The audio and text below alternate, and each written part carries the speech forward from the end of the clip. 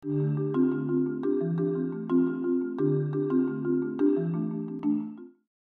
there and welcome to a tip for using Mukurtu 1.5, curating PDFs and other documents in your digital heritage items.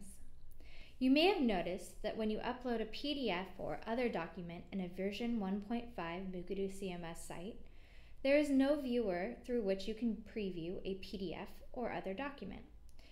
And if it is an extra media item, there is no title and no hyperlink once you click on the related media item.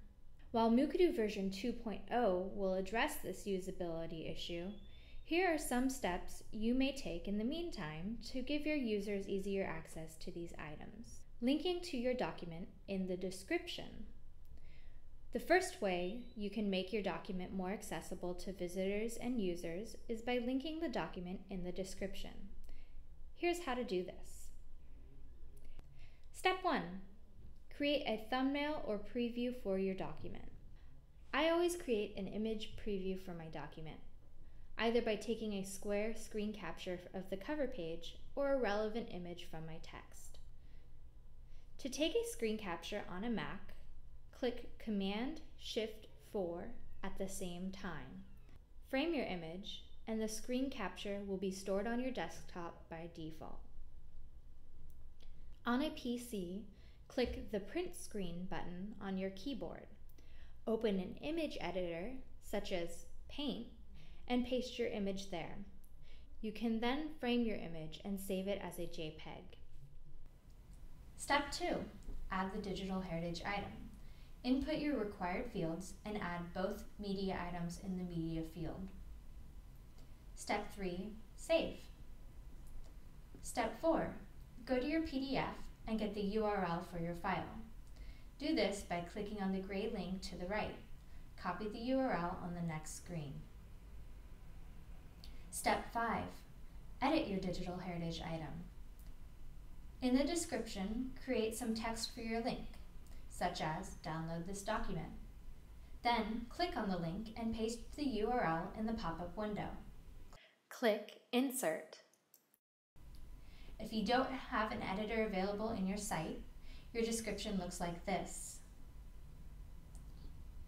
You can create a link using HTML formatting. Just use the convention on this screen.